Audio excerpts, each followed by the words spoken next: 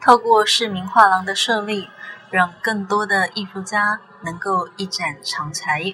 高雄市民艺廊推广人谢哲良老师有感于高雄市的艺术展览空间数量不多，且有专业资格限制，因此为了协助有艺术梦想的素人也能一展长才，因此从民国九十一年开始，便致力于推广市民艺廊。这一次一起加入圆梦行列的是身心障碍团体同心圆梦协会。呃，同心圆梦协会哈，他们都是一些迟缓儿或者是智障别的一些小朋友跟亲子的画作。这个赵主家他本身是属于重度智障，所以说他的手不是很稳，但是他能够画出这张图叫做愉悦。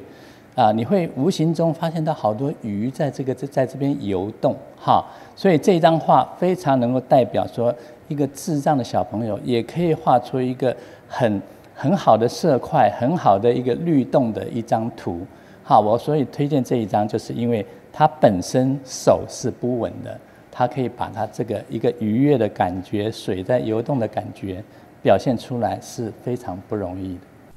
目前高雄市的市民艺廊有八个地方，将素人艺术家的画作放置在公家机关的墙面上展览，让民众在洽公之余也能欣赏美丽画作。法界新闻蔡木章、刘明明高雄采访报道。